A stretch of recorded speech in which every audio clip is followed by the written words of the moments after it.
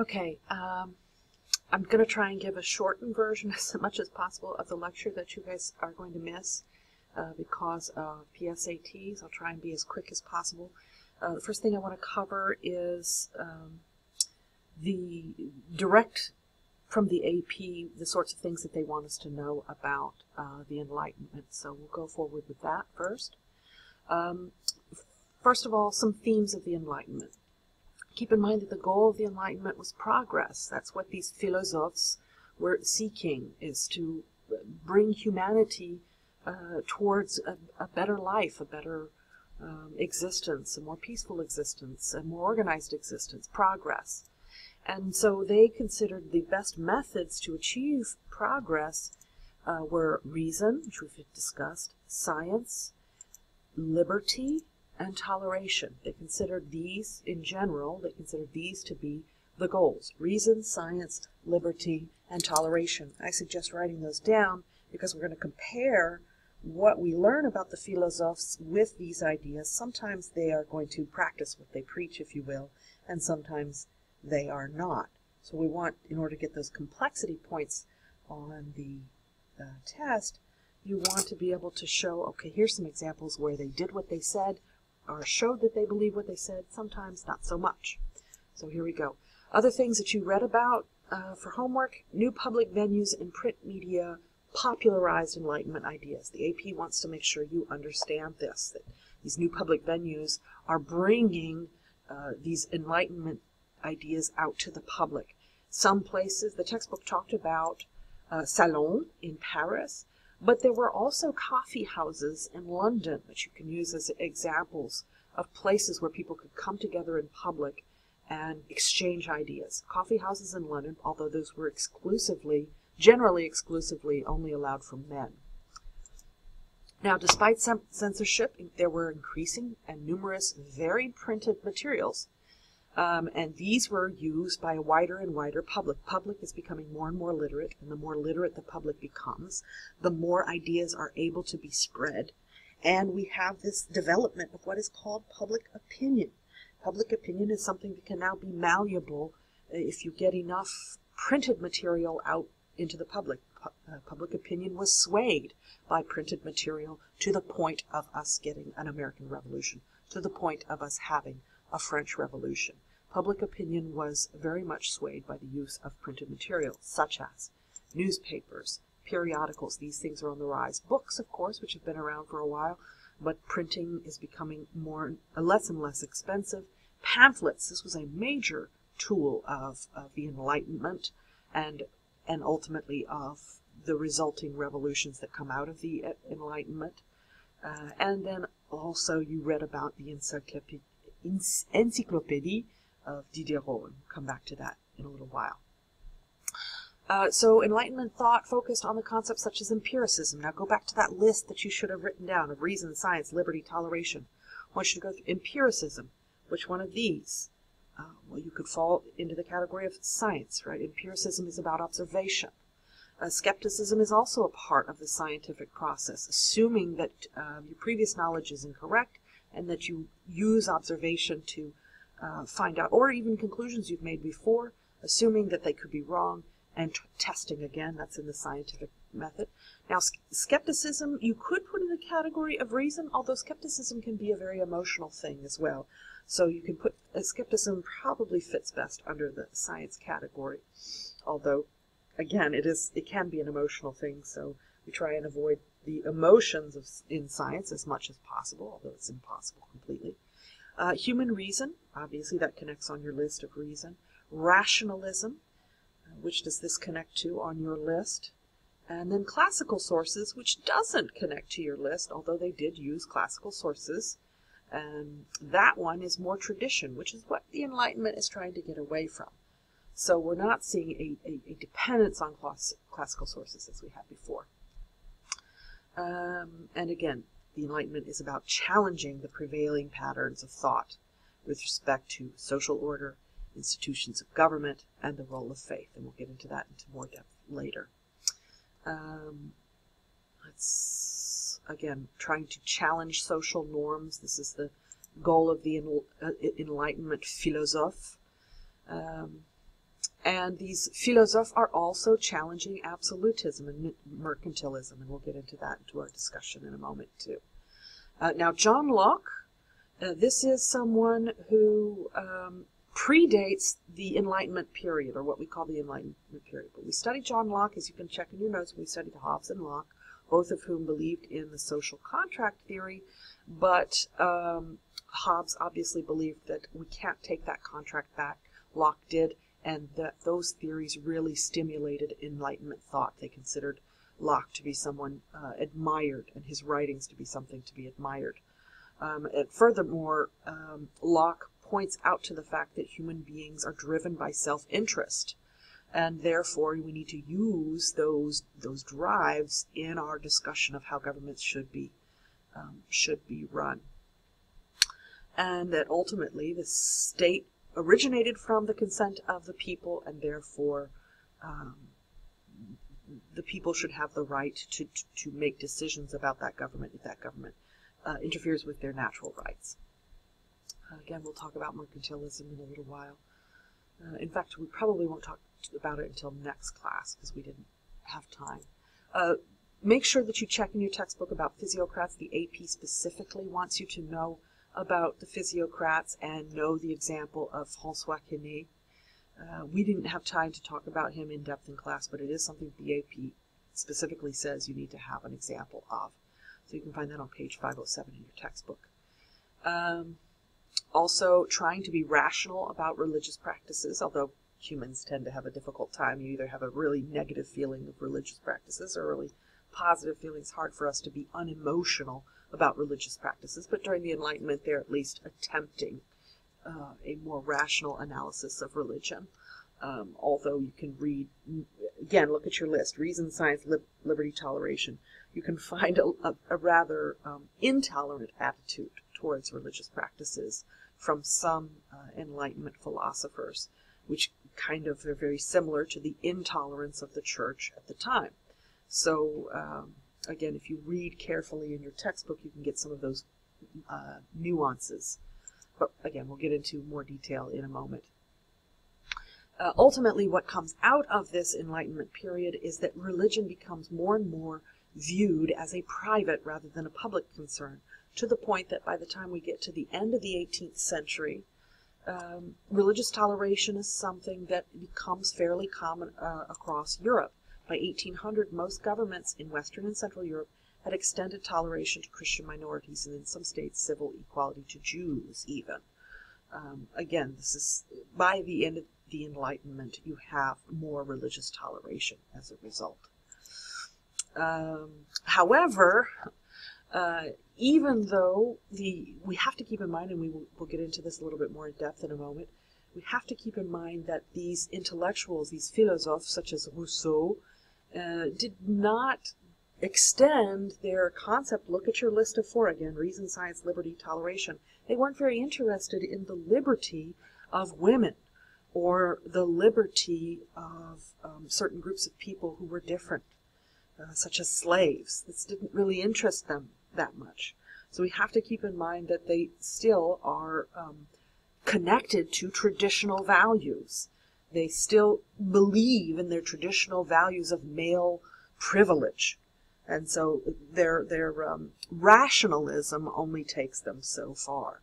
They are they don't find themselves able to look at their own personal lives, their family lives, their home lives as rationally as they project that uh, rationalism out at other people.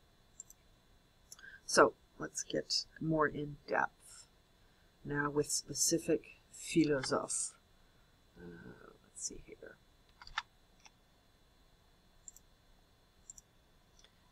Okay, so here we go. The, the philosophe. Uh, obviously, philosophe is just a fancy French word for um, philosopher. It's not a misspelling. It's a French word for philosopher. We use the word philosophe to on an essay to show that you're just more sophisticated, that you realize that the early um, Enlightenment philosophers were, in fact, French. Uh, these, oh, sorry, we'll get to that thing in a second. Uh, the early Enlightenment philosophers were French, and so that's why we use this word philosophe uh, to show that we're talking about specifically Enlightenment philosophers. Um, now, who's who in the Enlightenment? Again, these guys, Newton and Locke, these are not considered enlightened enlightenment thinkers. They are the people who are celebrated by the Enlightenment thinkers, by the philosophes. Um, Newton, of course, for his laws of, uh, of motion and his scientific method. He comes up with this method that we've talked about in previous classes, and then Locke, based on what uh, we just just mentioned earlier about being able to um, look at a government that is no longer serving the people and take away our social contract with that government and replace them with a government that will guarantee our natural rights of life, liberty, and property. And so Newton's laws of physics are a rational view of the universe. Those of you who understand physics very well realize that that Newton's idea of physics was very orderly and very uh, simple and organized. However, if you study physics in depth, which I have not, but my understanding is it gets a lot less rational now that we have a more modern view of, of things that, that don't necessarily uh, aren't as predictable as Newton's um, philosophy. Uh, nevertheless, Newton's physics are the easiest thing for us to understand in a, in a, in a um, step one in the road to understanding the physical world. And so, therefore, the philosophe at the time believed the earth, the earth to be um, very predictable. Um, and therefore, they wanted to connect that concept of predictability to the rest of the world, including the social realm and the political realm. Um, Locke, Locke was in favor of religious toleration. Look at your list of four reason, science, liberty, toleration. That's going to ring with the uh, the philosophe of the time and a rational view of government, meaning if the government is not serving you, you need to take uh, reform the government. So your early philosophes, Voltaire, Diderot, Montesquieu, Rousseau, these are all French philosophes. Then later we, uh, then we also have Prussian uh, philosophe Kant, and the Scottish Adam Smith. And we'll talk about his economics next class. And then, of course, the, the from the United States, Jefferson, Franklin, Paine. We won't have time to talk about those today. So Voltaire, French philosopher, philosophe, excuse me, author and playwright, He's best known for Candide. In fact, even when I had to read Voltaire in graduate school, instead of one of his denser, deeper um, texts, we were required simply to read Candide because it's the easiest and most entertaining way of getting his big ideas. Um, although he probably would not be too happy with the fact that that is the thing he's best known for. It's a very, it's very, it's simple-minded, yet it gets his message across. Um, other works that are much more sophisticated in nature uh, his letters on England when he gets uh, exiled from France. He goes to England and writes wonderful letters about how wonderfully the English government works, where they have English under the control, English monarchy under the control of a constitution, and they have much more religious freedom. Keep in mind, in France at the time, there is no religious freedom. The king determines that the Catholic Church is, in fact, the state religion, and there is no uh, room for minority, you know, the revocation of the Edict of Nantes, that is the, in, the environment that he's writing in. There's no religious freedom really in France. And so he's writing about how religious freedom in England worked so well for the English. Um, and then there is this philosophical dictionary, which is kind of a precursor to the encyclopedia. He writes the same sorts of things uh, that you will find in Diderot's encyclopedia, only it's not as uh, large a work. Uh, the encyclopédie is, is massive. Uh, this is a single volume of work. And then finally, we get to the elements of Newton's philosophy, which um, what Voltaire is doing. He wasn't a big scientist; he was more of a polit- you know political uh, philosopher, but he does this thing. He does the Bill Nye the Science Guy thing he popularizes um, the ideas of Newton, and as do other philosophers in his day, and that's one of the big things of the Enlightenment. All of a sudden, um, these big scientific ideas that have come up during the scientific revolution are now being explained in ways that the popular public the public can understand. And Voltaire is an example you could give in an essay of that. He writes this book called Elements of Newton's Philosophy, but get this, he didn't understand Newton's philosophy. He had to get together with his lover um, to explain it to him. This woman um, uh, in this, well, she's in a, state of undress right here, but she's holding this mirror and she is reflecting the the genius of Newton in a way that Voltaire, this is Voltaire down here, Voltaire can understand. She's explaining Newton. Here's Newton up, in heaven because he's so wonderful. He's in heaven. He had great ideas. She's reflecting this brilliance onto Voltaire, her lover. This is Émilie du Châtelet. She's a French mathematician, physicist, and author. She was also a noblewoman. Uh, her husband didn't mind that she uh, fooled around with Voltaire, and in fact, he used to go ride horses with Voltaire, her husband. She spent most of her time with uh, Voltaire, and um, she explained the intricacies.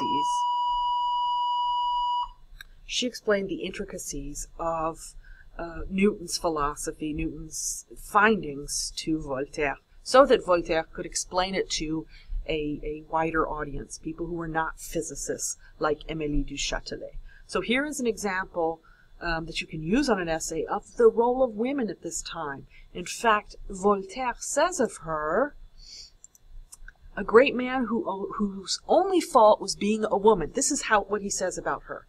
And in other words, if she had been a man and she had accomplished all that she had accomplished, she would be considered by the public to be a great man the way Voltaire was at the time. But she was a woman, and so she's not getting any any play, if you will.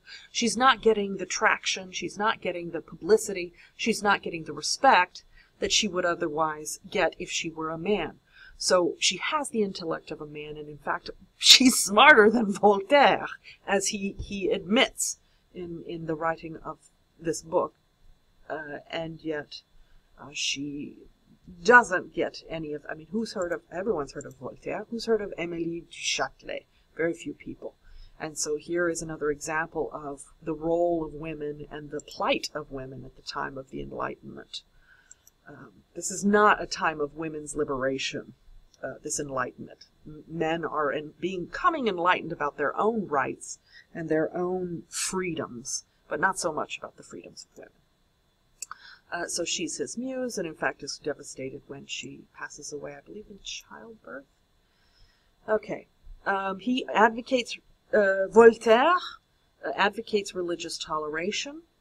Uh, and the older he gets, the crankier he gets about uh, the church. He's a great critic of, of Christianity and any kind of religion that's called a revealed religion.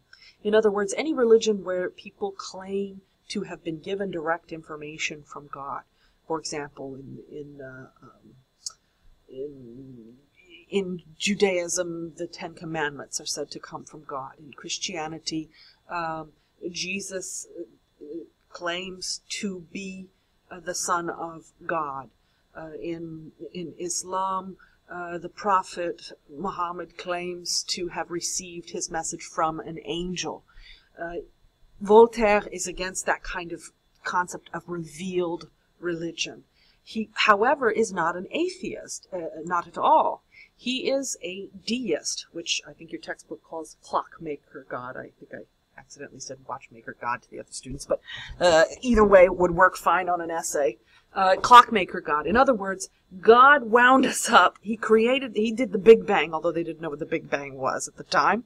But in, in modern terms, we'd say God caused the Big Bang and then walked off and had some tea somewhere or a beer or what, no, not a beer, sorry, I don't mean to be sacrilegious, but, uh, went away and whatever's happening now is just the natural result of what was caused by this great causer, God. This was this concept of deism or natural religion. And they call it natural religion because the idea was, hey, if you go to the ocean and you are awed by the majesty there, or you think about how human intellect is so complex. I mean, in our modern day, you could think of it as, you know, doesn't matter how many times people try and come up with a computer system that can make decisions the way humans make decisions, that can walk the way humans walk, that can um, drive the way humans drive in terms of decision making. We don't seem to be able to arrive at a at a model that actually um, can match the the incredible ability of humans,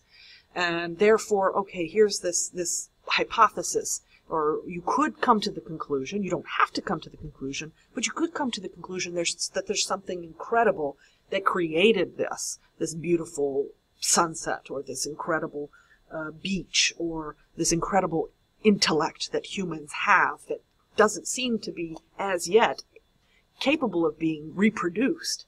Um, that is natural religion, meaning nature proclaims something incredible that, you know, maybe there is something that caused this beauty that's here or this um, uh, creativity that we see.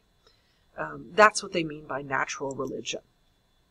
Okay, so from Voltaire, we move on to Denis Diderot, who's a rather bawdy fellow, a lot of dirty jokes, a lot of dirty poem, poetry. We won't spend too much time on uh, Diderot. Um, Although we must point out the fact that he did, in fact, as your textbooks say, uh, develop this encyclopédie, which is uh, great, uh, what do you call it, uh, groundbreaking um, opus this encyclopedia was a collaborative effort to compile and distribute a wide variety of knowledge from an enlightened perspective, and this is the reason why it was ultimately banned. Here they take all the topics that that people would have had questions about, just as your Wikipedia. You get all kinds of questions answered immediately from Wikipedia. They didn't have anything like that back then. Here is all of a sudden, you don't have to be a master, you don't have to know physics to the level that Newton did, you can at least get some level of understanding on all these different topics from Diderot.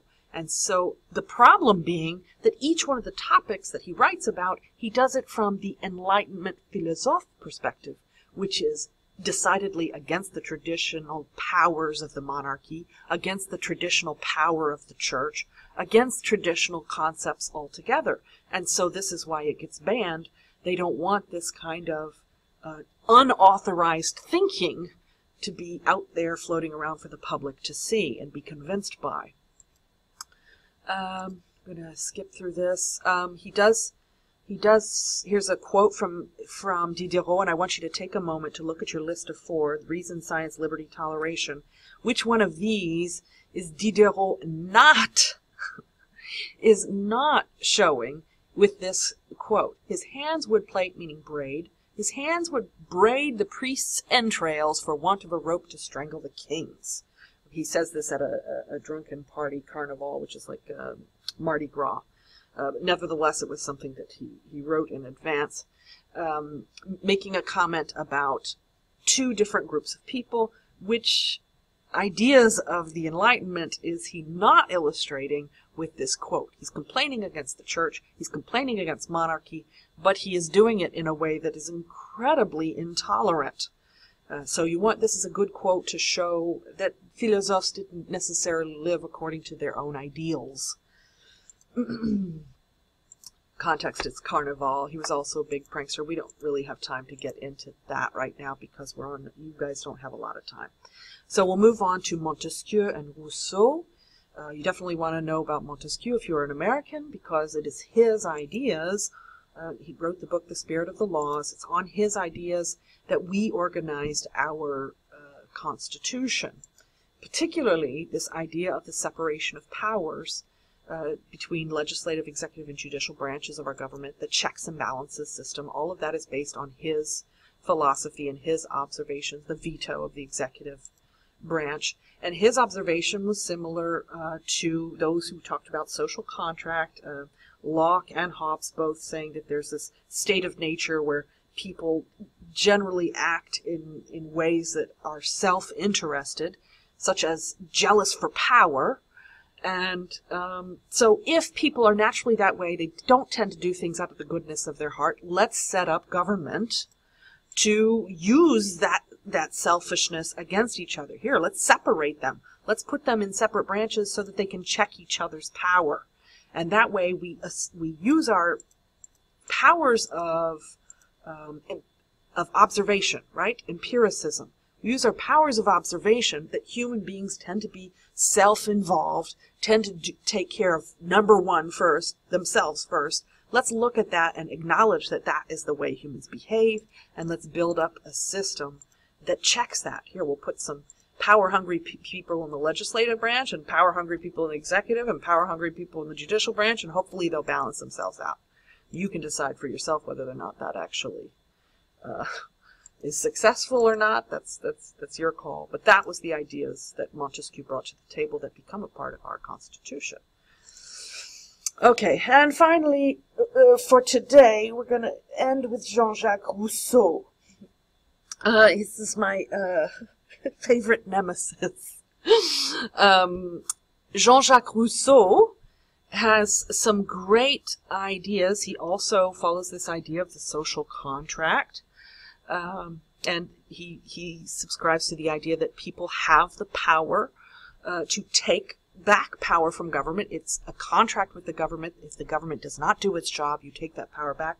Although he didn't even trust representative governments, such as voting for a president or voting for a representative.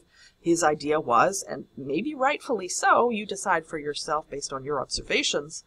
Uh, but he, he claimed, look, only during election season are they actually listening to what you want. As soon as they get into the positions of power, they don't care about you anymore. They're taking care of their own.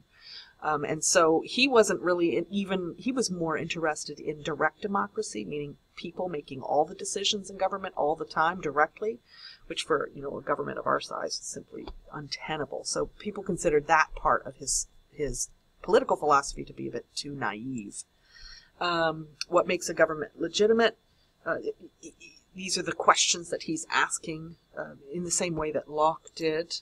Um, he's very famous for this quote. This is one you want to write down. Man is born free, but everywhere he is in chains. He um, he is very much trying to get society to free itself from its traditional values, free itself from its traditional values about what power the, the king should have, free itself from its traditional values, from what power it believes the church should have. Um, Oops. Sorry. Um, so what makes a, a, government legitimate? And in his, his opinion, it's only legitimate when the people give it the power, and the minute it stops doing uh, its job, providing uh, natural rights, you pull that power back. Um, now, he, he believes that government must submit to the general will meaning the power of the people, the, the, the will of the people, the majority of the people, that the government must submit to the people's will. Um, and freedom, this is an issue with him. He believes. Rousseau takes a different position from, say, Locke and Montesquieu, who look at the human condition and see humans as naturally, uh, naturally selfish, naturally self-involved. Rousseau's position is, look, the reason people behave poorly is because they're raised incorrectly. If you give them freedom from an early age to make decisions, they're going to make good decisions. If you take tradition away and you allow children to simply grow up in their natural state, then we will have a better progress. Although, uh, if you ask uh, young ladies who've done babysitting what they think about uh, children being naturally good, uh, you might get different answers. I'll, I'll, leave that experiment, that empirical experiment, up to you. Uh, now, he writes this book. Now, this is a this is a big this is a big controversial thing. Emile, he writes this book, Emile, or also called On Education.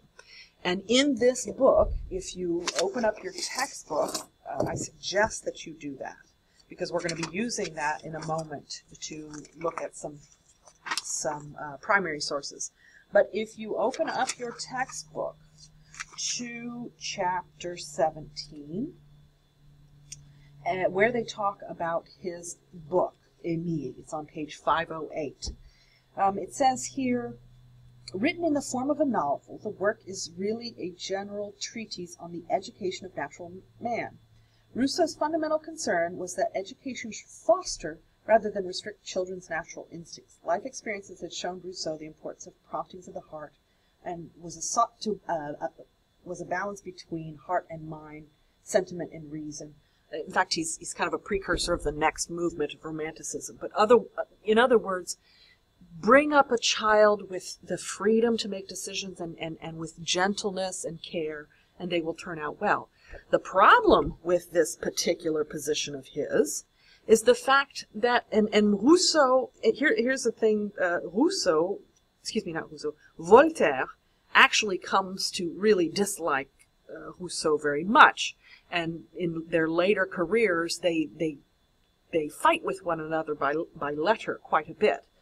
And in fact, an example of Voltaire not living up to the uh, Enlightenment um, ideals, go back to your list of four reason, science, liberty, toleration. Voltaire actually calls for uh, um, Rousseau's next book that comes out to be pulled off the shelves. It was uh, something about a mountain. I can't remember the name of the title of the book, um, but you can you can Google that really quickly if you if you want to know what the specific book was. Um, but his next book that comes out well, it, actually, Voltaire is kind of irritated by this book because this Emile on education because he knows what Rousseau does in his re, in his real life, and you can find that in your textbook um, on page. Um, let's see here. Where do they out him on his his uh, hypocrisy? Um, I believe it's also between 508 and 509. You can find this in your textbook. I'm not making this crazy thing up. The fact is that Rousseau actually abandoned all of his children. He was fiddling around with his uh, servant girl um, and had five different children with her. And for each one of his children, even though he writes this book, he becomes becomes this hero in Europe of, of, of great fatherly affection and and great ideas for educating children. This paternal, wonderful, loving paternal figure because of what he wrote in Emile, or on education. And yet it turns out that he abandoned each each time his mistress slash servant, housekeeper, what have you, gave birth to a child, he would required her to take the child to the, the nearest orphanage. Now, if you know anything about orphanages at the time, I don't know if you ever read any uh, Bleak House with, uh, let's say, uh, authors. Uh, Charles Dickens, any horrible Charles Dickens books about how the horrors of public housing and, orphanages at the time. Uh, in, in England and France were very similar in this respect. Most children who were sent to orphanages would actually die of neglect, die of malnutrition, die of diseases coming from neglect, cold, not getting the things that they need. And so the idea that he would send all five of his children when they were born to an orphanage, basically put them to death, uh, Voltaire found to be odious, and he actually outed. And so first of all, uh, well, no, we'll come back to that later. So Voltaire pretends that he is a conservative uh, Genevan, conservative Christian Genevan and writes an anonymous letter to the public about um, Rousseau, and Rousseau is run out of town, basically. Uh, because, but Voltaire specifically asked that they censor his book. That is his request, that they censor um, Rousseau's book. Voltaire is asking for censorship. Go back to your four uh, words of the Enlightenment reason, science, liberty, toleration. Does that match liberty? Does that match toleration? You decide for yourself. Nevertheless, you need to keep in mind here's a counterpoint you can bring up when you're talking about how Rousseau has this great opinion of humankind and, and how much potential they have. He, and what's the best way to raise a child? Keep in mind his personal life. Also, there's this issue of gender roles that we find does not fit um, Enlightenment ideals. And you can find this on page, see here, page 511 in your textbook. And one of the things that I want you to uh, do is read both of those passages on page 511 and then you're going to answer the questions um, in this video in response to that.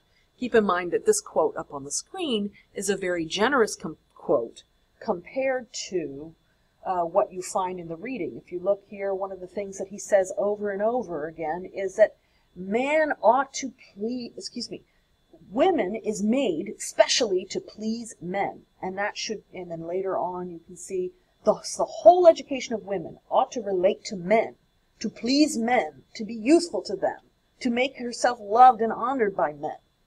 Okay? This is Rousseau's position on women. So you need to be aware liberty and toleration extend to only some people in the population, and, and with philosophe certainly does not extend to uh, women or pe- people of color for that matter. And with that, I will let you stop and do the reading that's required, and I will put in Google Classroom what your homework is.